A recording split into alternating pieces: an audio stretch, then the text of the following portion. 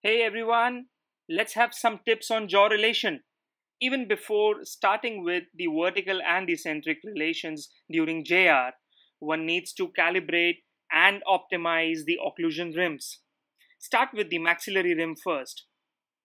My checklist is first the buccal corridor and the visibility of the maxillary rim. And most importantly, its relation with the facial reference lines, namely the interpupillary line and moving on posteriorly to the alar tragus line.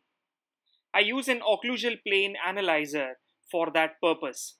It really helps me have the level of the rim coincide with the alar tragus in absolute parallelism.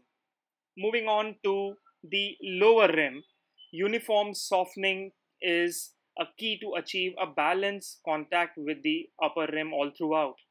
Ask the patient to close in a position almost near to his centric relation. Don't let him overclose. On the model posteriorly, it should coincide with two thirds up the retromolar pad. Whereas in the patient's mouth, one can verify the position of the rims in the canine premolar region as it should nearly coincide the level of the commissures of the mouth. Well, hope this was helpful.